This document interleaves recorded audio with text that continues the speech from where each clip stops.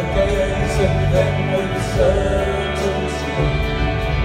We're gathered here today from all